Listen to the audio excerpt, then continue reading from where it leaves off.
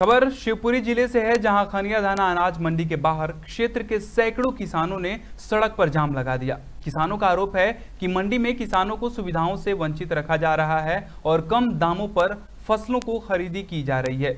मंडी सचिव या कोई अन्य अधिकारी अनाज मंडी में किसानों की समस्याओं को देखने नहीं आता, जिसके चलते खनिया दाना मंडी में अनाज व्यापारी अपना धंधा चला रहे हैं। इतना ही नहीं, किसानों की मेहनत से कमाई गई फ़सल को औने पौने दामों पर खरीद रहे हैं। किसानों का आरोप है कि खनिया धाना के गल्ला व्यापारी और अधिकारियों की साठ गांठ के चलते किसानों को मजबूरी में अपनी फ़सल मंडी के बाहर बेचनी पड़ती है।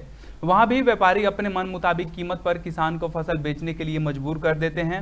फ़िलहाल मौके पर खनिया धाना तहसीलदार शिवम उपाध्याय पहुँचे और किसानों की समस्याओं को सुन शीघ्र कार्रवाई करने का आश्वासन दिया। शिवपुरी से कमर खान की रिपोर्ट।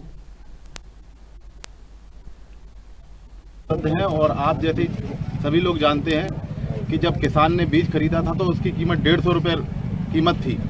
और आज मजदूरों की ऐसी स्थिति रही कि सात सौ रुपये प्रतिदिन के हिसाब से हमने मजदूरी दी किसानों ने। तब जा कर के आज हम अपनी मूंगफली मंडी में लेने लायक हुए हैं यहाँ पर। और किसानों की मंडी के भाव यहाँ पर सुनने में आ रहा है कि 24, 25 और 28, 30 रुपए ये लगाया जा रहा है। जबकि बाज़ार में यहाँ पर किसान जो व्यापारी हैं वो अपने दुकानों से छियालीस अड़तालीस रुपये में मूंगफली खरीद रहे हैं। तो यहाँ पर मंडी में कौन खरीदने आएगा? वास्तव में किसानों को अपनी मूंगफली का भाव 50 से 55 और 60 रुपए मिलना चाहिए जितनी मेहनत की है और उसको कुछ मेहनताना जो उसने किया है, मेहनत का भी फल इतना कम से कम मिलना चाहिए, लेकिन मिल नहीं पा रहा है। शासन प्रशासन भी बिल्कुल मौन है और यहाँ पर जो व्यापारी खुलेआम चौराहे पर सैकड़ों ट्रैक्टरों की लाइन लगी हुई और खुलेआम जो है मंडी के बाहर खरीद रहे हैं तो उन पर भी किसी प्रकार की कोई कार्रवाई नहीं की जा रही, जिसकी हमारी यही मांगे है कि मजदूरी बहुत ज़्यादा हो गई। और डीजल बहुत ज़्यादा हो रहा है और हमारे लिए कम से पचास से ऊपर भाव होना चाहिए। हमारा कहना ये है आज पचास चल रहा कम समय थे अपने थे बाज़ार में रहो तो इम्कानों की एक दिन हाँ पठार की गाड़ी आई थी वो इम्कान की खरीदी थी। उस जैसे भाव ज़्यादा मारा नहीं लगा मद्दा कर दिया। ये मूंगफली तुल रही है।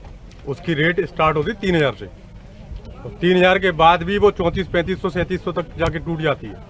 चार पूरे व्यापारी आते हैं। तीन ढेर। व्यापारी अपने प्राइवेट धंधे चला रहे हैं तो उनको ज़रूरत ही नहीं है मंडी में आने की। इसलिए जो प्रशासन से निवेदन है कि पहले तो व्यापारियों की दुकानें बंद करें जो प्राइवेटली चला रहे हैं। उसके बाद मंडी में सारे व्यापारी आए और किसान आए ताकि किसान को कुछ भाव मिल सके। सात सौ रुपये में तो किसान ने एक एक मजदूर चला चला के काम किया है। मंडी में कुछ कृषकों की जाँच न होने के कारण कृषकों द्वारा जाम लगाया गया है। तो उपरोक्त परिप्रेक्ष्य मेरे द्वारा मौके पर जाकर कृषकों को समझाया गया है कि प्रतिदिन सुबह ग्यारह बजे डाक आयोजित होगी। इसमें कृषकों का व्यापारियों द्वारा माल होगा वो क्रय किया जाएगा। वो इसलिए कर रहे हैं कि जैसे बगल वाली साफ़ कोई मूंगफली ढेरी लगती है वहाँ खुली नीलामी होती है। तो साफ़ ढेरी है वो अगर पाँच हज़ार रुपये की बिकी और अगर मिट्टी वाली ढेरी बगल से लगी वो अगर चार रुपये तो किसान बढ़ जाता है।